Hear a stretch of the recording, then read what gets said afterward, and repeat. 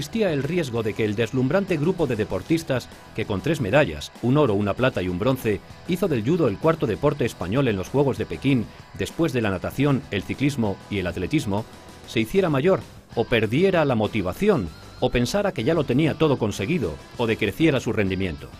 Pero no ha sido así, ni mucho menos.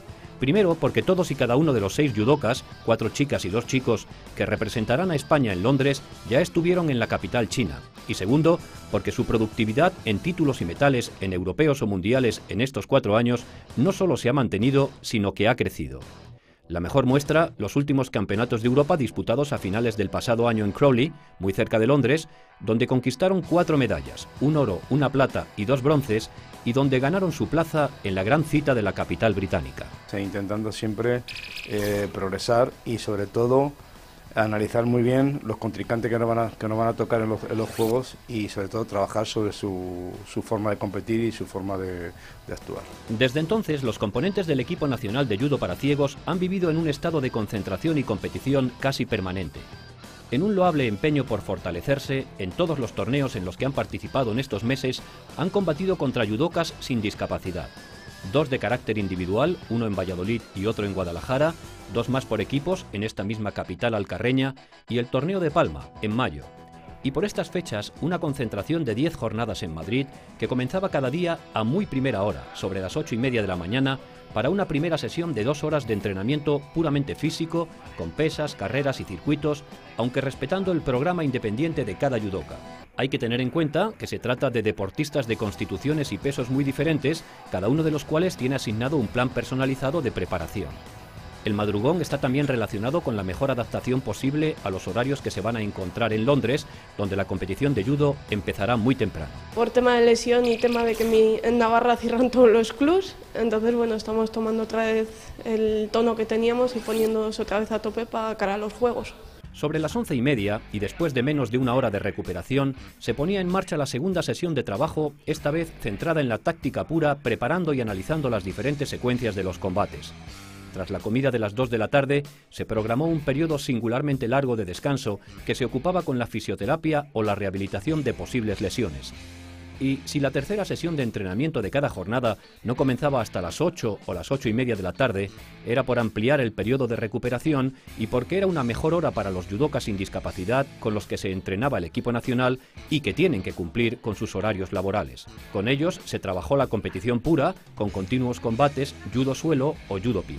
Y la concentración está yendo según lo previsto, muy bien, porque venimos todos ya muy fuertes de casa, con los deberes hechos y se nota mucho para no tener que adaptar ningún ritmo. Creo que estamos cumpliendo objetivos.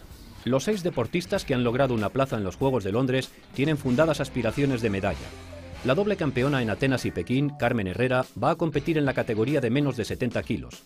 Ya no es una niña, está a punto de cumplir 38 años y además le han salido nuevas y duras contrincantes, pero se la ve más fuerte que nunca, sigue siendo la favorita y desea convertirse en el primer judoka español que gana tres oros paralímpicos consecutivos. El nivel cada, cada, cada ciclo olímpico sube y sube exponencialmente, entonces yo estoy abierta, por supuesto, a todo. Yo como deportista sé que puedo perder, pero también sé que puedo ganar y que estoy entrenando para ganar. Marta Arce, que combatirá en la categoría de menos de 63 kilos, decidió después de Pekín realizar al fin su proyecto de ser madre.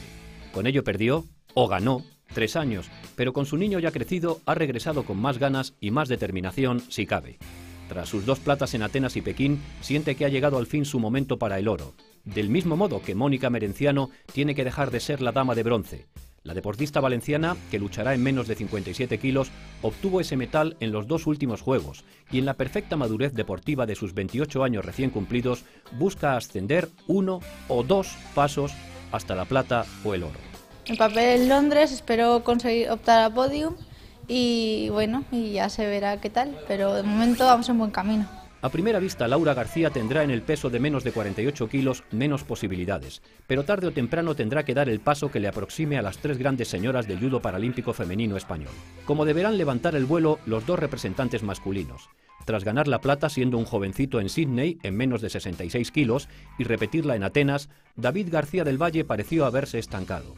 Pero en los últimos meses, y gracias a un radical cambio en la planificación de sus entrenamientos, el veterano almeriense demuestra estar en condiciones de volver al podio en Londres.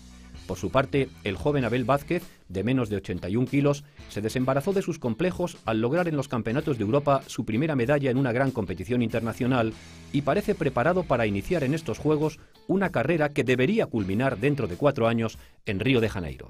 En Londres esperemos estar por lo menos en tercer puesto la final y la ilusión es, como siempre, ser oro.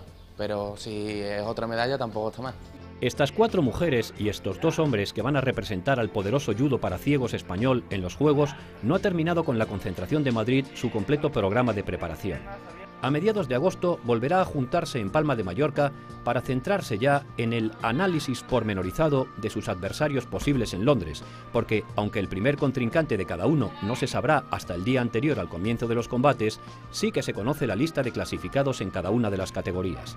El día 24 tomarán ya el avión hacia los Juegos y el 30 ya estarán sobre el tatami para sacar el rendimiento a tantos años de esfuerzo y hacer tal vez realidad sus sueños más hermosos. Es difícil eh, saber qué, cuántas medallas vamos a sacar, pero yo creo que va a ser un buen papel como siempre hemos hecho. Hay gente, todo el mundo que va a competir tiene opción de medalla, pero esto es un deporte y es difícil eh, saber si se van a sacar medalla. También sueñan con títulos y medallas los chicos y chicas de la selección paralímpica de atletismo a los que dedicaremos nuestro próximo programa, porque viven estos días un severo periodo de concentraciones. Pero aún nos quedan unos segundos para disfrutar del carácter combativo de nuestros judocas.